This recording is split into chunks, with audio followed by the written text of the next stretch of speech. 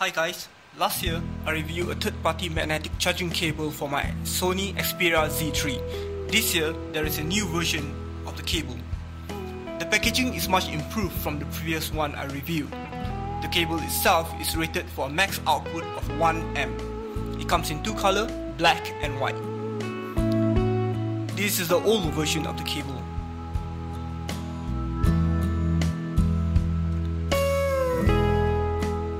Aside and unbox the new one.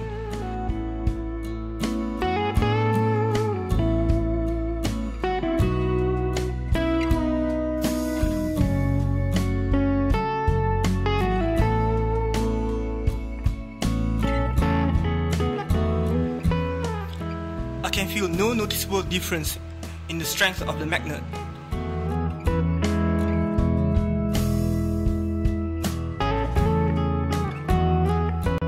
Comparing the old and the new version, you can see that the new charging head is smaller in size. When plugged in, the cable lights up with blue LED.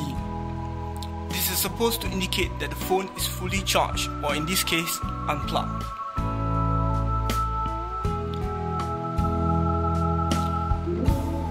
Once attached to my Z3, the LED immediately turned to red, showing that it is currently charging.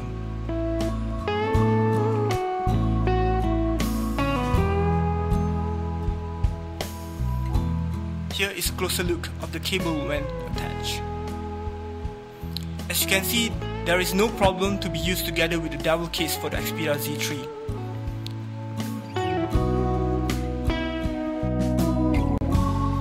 Now how about some shake tests?